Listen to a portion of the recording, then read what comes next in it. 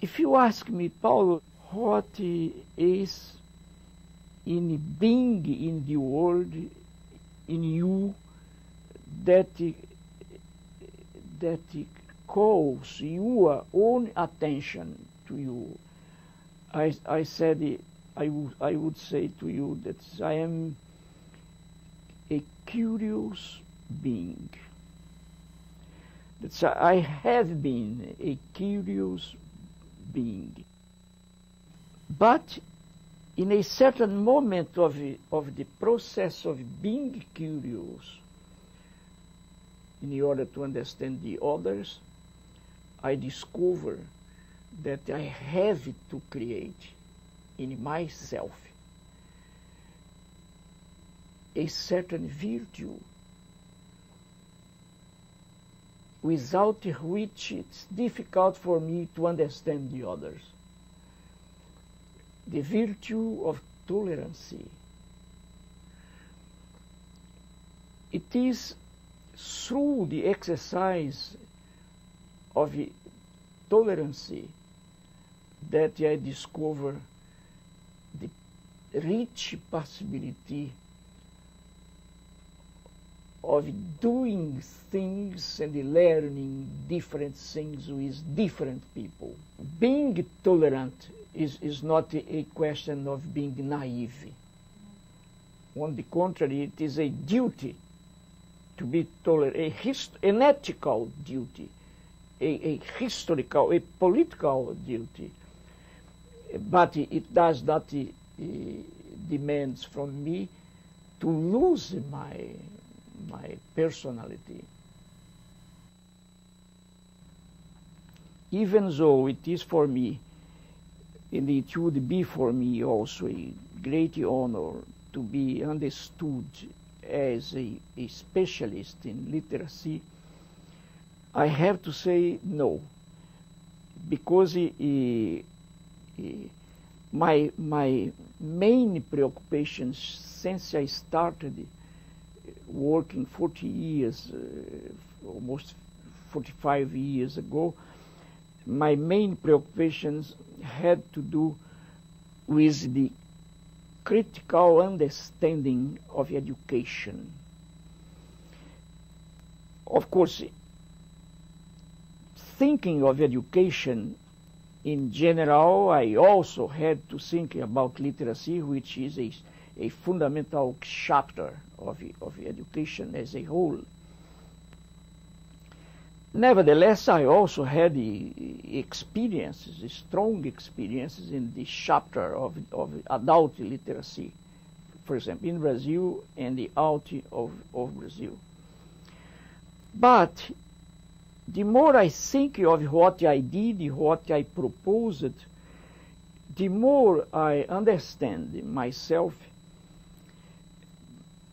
much more as a thinker and, and a, a, kind of epistemologist proposing a critical way of, of thinking and a critical way of teaching, of knowing to the teachers in order for them to work differently with the students. Who, who says that this accent or that this way of, of thinking is, is the, the culture, cult, cultivate one. If there is one which is cultivated, there is, this is because there is another one which is not. Mm-hmm. Do you see? It's impossible to think of, of, of that without, of language without thinking of ideology and the power. I defend the duty of the teachers to teach the cultivated pattern, and I defend the right of the kids or of the adults to learn the dominant pattern. But it is necessary in being a democratic, tolerant teacher. It is necessary to, to explicitly to make clear to the clear to the, the kids or to the adults that their way of speaking is as beautiful as our way of speaking. Second, that they have the right to speak like this. Third, nevertheless, they need to learn the so-called dominant syntax for different reasons. That is, the more the oppressed, the poor people, get the command on the dominant syntax, the more they can articulate their voices and their speech in the struggle against injustice.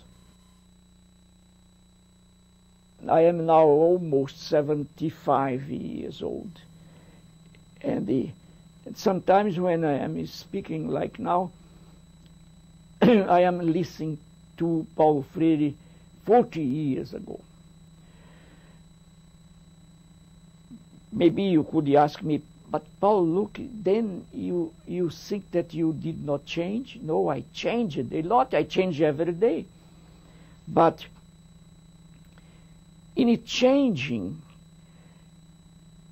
I did not change, nevertheless, some of the central nucleus of my thought, of my, my, the understanding of my own presence in the reality. That is, how, for example, could, could, could I change the knowledge which make, or, or, the, or the experience which makes me know that I am curious. No, I, I was a curious boy, and I am a curious old man. That is, my curiosity never stops. Maybe, maybe in the last moments of my life, I will be curious to know what it means to die.